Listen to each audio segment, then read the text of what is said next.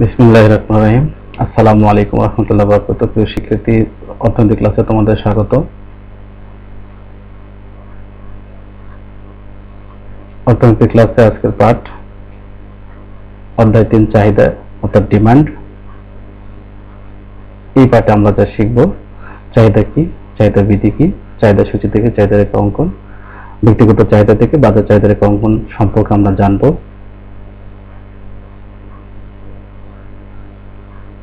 চাহিদা অর্থাৎ ডিমান্ড সাধারণত কোনো কিছু পাওয়ার আকাঙ্ক্ষাকে আমরা চাহিদা বলি, কিন্তু অর্থনীতিতে চাহিদা বলতে কেবল আকাঙ্ক্ষা বোঝায় না।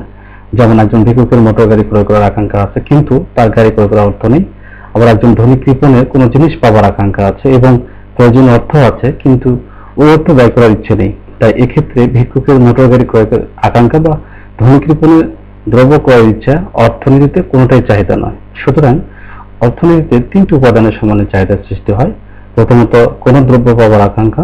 দ্বিতীয়ত, দ্রব্য ক্রয় করার জন্য প্রয়োজনীয় অর্থ। এবং তৃতীয়ত ওই অর্থ ব্যয় করার ইচ্ছা বা মানসিকতা থাকতে হবে। অর্থাৎ, কোন ক্রেতার নিকট একটি নির্দিষ্ট দ্রব্য ক্রয় করার আকাঙ্ক্ষা ও সামর্থ্য থাকলে এবং নির্দিষ্ট দামে দ্রব্যটি ক্রয় করার ইচ্ছা থাকলে তাকে অর্থনীতি আমরা চাহিদা বলতে পারি। চাহিদা সূচি থেকে আমরা চাহিদা রেখা অঙ্কন করব। চাহিদা বিধিতে চাহিদার একটা কথা হবে যে দামের সাথে চাহিদার সাথে এই দামের বিপরীত সম্পর্ক বিদ্যমান, অর্থাৎ দ্রব্যের দাম কমলে চাহিদা বাড়ে বা দাম বাড়লে চাহিদা কমে। এই ধারণাটি যখন একটি সূচির মাধ্যমে প্রকাশ করা হয়, তখন তাকে চাহিদা সূচি বলা হয়। আমরা একটা চাহিদা সূচি দেখে নিব। আমরা দেখতে পাচ্ছি যে প্রতিটি আমের দাম ধরা হয়েছে টাকা এবং চাহিদার পরিমাণ এককে ধরা হয়েছে। দাম যখন আট টাকা, চাহিদার পরিমাণ এক- এক একক। এভাবে দাম কমে যখন ছয়, চার এবং দুই টাকা পরিণত হয়, তখন চাহিদার পরিমাণ আবার বেড়ে যায়, অর্থাৎ দুই, তিন এবং চার একক হয়। এই চাহিদা সূচি থেকে আমরা একটা চাহিদা রেখা অঙ্কন করব। আমরা দেখতে পাচ্ছি কয়েক চক্রের চাহিদার পরিমাণ, আর ও আয়কে দ্রব্যের দাম ধরা হয়েছে। দ্রব্যের দাম যখন আট টাকা, চাহিদার পরিমাণ তখন চার একক।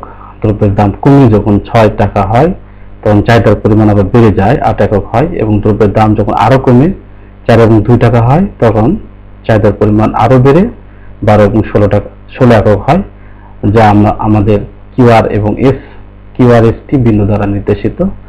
আর এই কিউআরএসটি যোগ করলে আমরা যেটা পাই সেটা হচ্ছে ডিডি ওয়ান রেখা, আর এই রেখাটি হচ্ছে আমাদের চাহিদা রেখা। অর্থাৎ চিত্রে আমরা দেখতে পাই ওয়েক্স চক্রের চাহিদার পরিমাণ এবং ওয়াইওকে দ্রব্যের দাম দেখানো হয়েছে। দ্রব্যের দাম যখন আট টাকা, তখন চাহিদার পরিমাণ চার একক, যা কিউ বিন্দুতে দেখানো হয়েছে। আবার দ্রব্যের দাম যখন ছয় টাকা, তখন চাহিদার পরিমাণ বের হয় আট একক, যা বিন্দুতে দেখানো হয়েছে।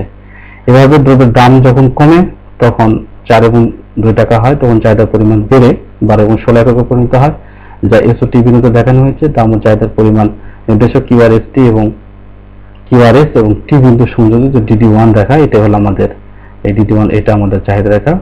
আর এই রেখাটি আমরা বাম থেকে সাধারণত জানি যে ডান দিকে নিম্নগামী হয়। আমরা বাজার চাহিদা রেখা দেখব। বাজারের সকল ভোক্তা হচ্ছে ব্যক্তিগত চাহিদার সমষ্টি, এই সমষ্টিকে বাজার চাহিদা বলে। ভোক্তা দ্রব্যের বিভিন্ন দামে কি পরিমাণ দ্রব্য ক্রয় করে তা তার ব্যক্তিগত চাহিদা সূচি থেকে আমরা জানতে পারি।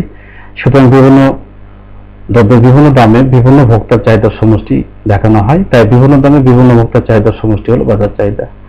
আর বাজার চাহিদা সূচি হচ্ছে বিভিন্ন দামে বাজারের সব ক্রেতা একত্রে একটি দ্রব্য যে পরিমাণ কিনতে ইচ্ছুক তার তালিকা। অর্থাৎ কোনো বাজারের সকল ব্যক্তিগত চাহিদা সূচি যোগ করে বাজার চাহিদা সূচি তৈরি করা হয়। আমরা একটা বাজার চাহিদা চাহিদা সূচি দেখব। যেমন দ্রব্যের তোমরা একটু লক্ষ্য করো দ্রব্যের দাম ধরা হয়েছে প্রতি এককে এক নম্বর ভোক্তার চাহিদা কিউ ওয়ান দুই নম্বর ভোক্তার চাহিদা কিউ টু এবং বাজার চাহিদা Q zero two Q one plus Q two এখানে দ্রব্যের দাম ধরা হয়েছে যেমন ছয় টাকা, এক নম্বর ভোক্তার চাহিদা পাঁচ পাঁচ একক, দুই নম্বর ভোক্তার চাহিদা দশ একক। এই এক নম্বর এবং দুই নম্বর ভোক্তার চাহিদা যোগ করে আমরা এখানে পেয়েছি পনেরো একক। এভাবে আমরা পর্যায়ক্রমিকভাবে যখন দাম আরও কমে চার এবং দুই টাকা হয়, তখন ভোক্তার চাহিদা, এক নম্বর ভোক্তার চাহিদা দেখো বেড়ে দশ থেকে পনেরো টাকা হয়েছে। দুই নম্বর ভোক্তার চাহিদা বেড়ে দশ থেকে পনেরো পনেরো থেকে বিশ হয়েছে। এই এক এবং দুই নম্বর ভোক্তার চাহিদা আমরা যোগ করে বাজার চাহিদা পেয়েছি পঁচিশ এবং পঁয়ত্রিশ। এবং এখান থেকে আমরা একটা আমরা চিত্র দেখব। এই সূচি থেকে আমরা বাজার চাহিদাটাকে কীভাবে অঙ্কন করতে হয় সেটা আমরা দেখব। আমরা দেখো ওয়েক্সকে ভোক্তার চাহিদার পরিমাণ ধরা হয়েছে এবং ওয়াইকে দাম ধরা হয়েছে। দুই নম্বর ভোক্তার ক্ষেত্রেও তাই এবং বাজার চাহিদার ক্ষেত্রেও ওয়েবসাইটের চাহিদার পরিমাণ এবং ওয়াইকে দাম ধরা হয়েছে। এটা এক নম্বর ভোক্তা, এটা দুই নম্বর, আর এটা বাজার চাহিদা দেখানো হয়েছে। তো দাম ভোক্তার, এক নম্বর ভোক্তার ক্ষেত্রে দাম এবং দুই নম্বর ভোক্তার ক্ষেত্রে এবং বাজার চাহিদার ক্ষেত্রে দাম ফিক্সড এখানে দাম নির্দিষ্ট ধরা হয়েছে। দাম যেমন ছয় টাকা, তখন এক নম্বর ভোক্তার চাহিদার পরিমাণ পাঁচ একক, আর দুই নম্বর ভোক্তার চাহিদার পরিমাণ তখন দশ একক।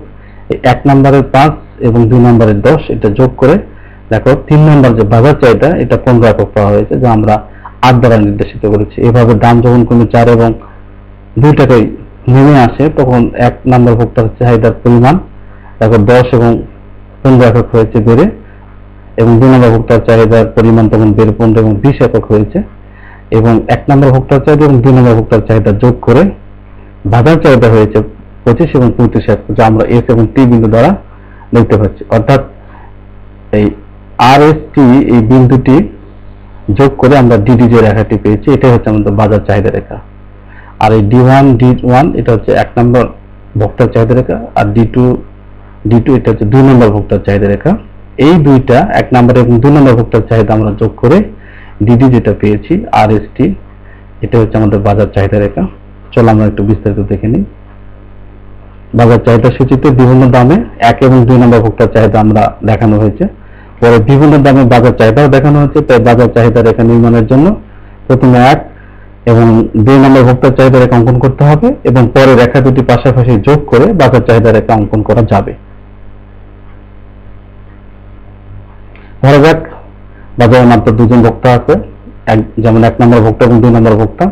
এক নম্বর ভোক্তার চাহিদা রেখে ডি ওয়ান ডি ওয়ান এবং দুই নম্বর ভোক্তার চাহিদা আমরা ধরেছি ডি টু ডি টু আমরা যখন ধরলাম যে দ্রব্যের ছয় টাকা দামে এক নম্বর এবং দুই নম্বর ভোক্তার চাহিদার পরিমাণ আমরা ধরলাম পাঁচ এবং দশ একক, অর্থাৎ ওই দামে বাজার চাহিদার পরিমাণ আমরা পাঁচ একক এবং দশ একক অর্থাৎ পনেরো একক পাই, যা তিন নম্বর চিত্রের, অর্থাৎ বাজার চাহিদা রেখার যে চিত্র, আর দ্বারা নির্দেশিত। দাম কমে যখন চার এবং দুই টাকা হয়, তখন এক এবং দুই নম্বর ভোক্তার চাহিদার সমষ্টি হয় দশ একক এবং পনেরো একক, অর্থাৎ পঁচিশ একক, এবং পনেরো এবং বিশ একক, অর্থাৎ পঁয়ত্রিশ একক। এখন এই পঁচিশ এবং পঁয়ত্রিশ একক বাজার চাহিদা চিত্রের যথাক্রমে এস এবং টি বিন্দু দ্বারা নির্দেশিত হয়েছে। আর এস এবং টি বিন্দু তিনটি যোগ করে আমরা একটা রেখা পাই ডিডি এই রেখা বিভিন্ন দামের দ্রব্যের বাজার চাহিদা রেখা প্রকাশ করে, তাই একে বাজার রেখা বলা হয়। এভাবে আমরা ব্যক্তিগত চাহিদা রেখাগুলোকে পাশাপাশি যোগ করে বাজার চাহিদা রেখা গঠন করতে পারি।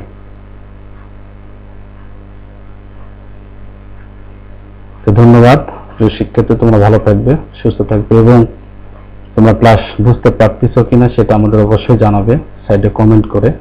তাহলে আমরা বুঝতে পারব এবং ভবিষ্যতে আর- ভালো ক্লাস তোমাদের উপহার দেওয়ার চেষ্টা করব। এই প্রত্যাশায় সবাই ভালো থাকবে। আল্লাহ হাফিজ।